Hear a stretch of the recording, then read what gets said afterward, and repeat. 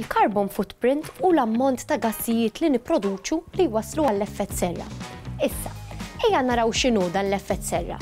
L-effett serra hu fenomenu naturali bżonnjuż għad-dinja li permezz tiegħu hu possibbli li jkun hawn il-ħajja. Dan għaliex l-atmosfera iżżomm ammont ta' sħana li tilħaq il-wiċċ tad-dinja mix-xemx u b'hekk it-temperatura medja tkun ta' 15-il grad Celsius. Issa, Kieku dawn il-gassijiet ma jżommux parti mir-raġġi tax-xemx, kieku t-temperatura tkun madwar 18 il-grad taħt iż-żero.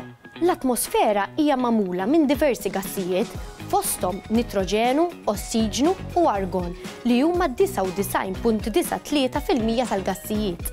Imbagħad hemm gassijiet oħra, bħal fwar tal-ilma, carbon dioxide, methane, nitrous oxide u ozone, Meta dawn ikunu fi proporzjon tajba, jagħmlu xogħolhom. Imma, meta minħabba l-attivitajiet tal-bniedem il-konċentrazzjoni ta' dawn tiżdied, l-atmosfera iżżomm aktar sħana milli suppost, bil-konsegwenzi kollha li ġġib magħha, bħal temperaturi ogħla, ice caps idubu, nirien, postijiet isiru deżert u maltempati vjolenti, kif qed naraw.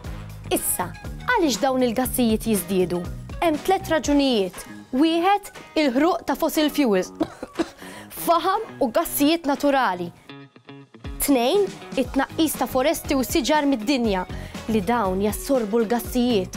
U tlieta, iż-żieda fil-popolazzjoni, li ovvjament iżżid l-attività tan-nies u l-konsum ta' dawn ir-riżorsi. Għalhekk, kull ħaġa li nagħmlu, sew jekk insuqu. Are! Meta nsaħħnu jew inkessħu d-dar u anke meta nixtru kull prodott, pereżempju dan li għandi f'idi, min jaf xi tniġġis joħloq sakemm jasal għandna.